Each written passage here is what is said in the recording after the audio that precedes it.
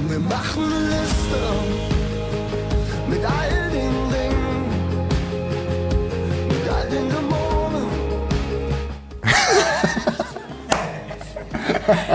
Dämonen. Norman Keil, meine Damen und Herren, am 12. September bei mir.